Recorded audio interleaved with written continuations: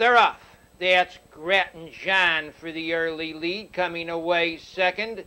Look at this battle. Look at these three hump into that turn. Grattan John on the outside. He won't clear.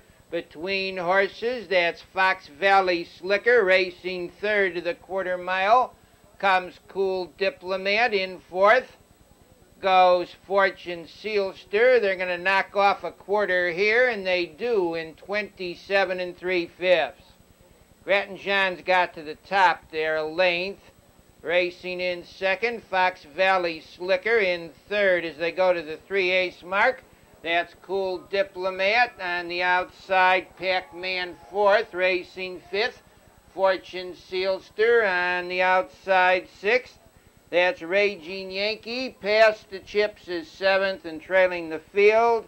Gypsy Giant. They go off the half mile, 57 and 4. Pac-Man's moving up there now to challenge Grattan John. Grattan John O'Lane racing in second of the three quarters. Pac-Man in third position on the outside of horses to the turn. Goes Raging Yankee, the leader by a length and a half. Grattan John tucking in second. Pac-Man on the outside, moving up third round the turn with a rush, comes Raging Yankee. They turn for home. Grattan John's under urging, just not much left there. On the outside, Raging Yankee. And now Raging Yankee goes right on by Grattan John.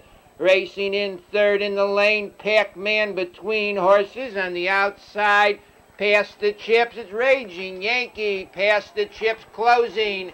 Raging Yankee and past the chips.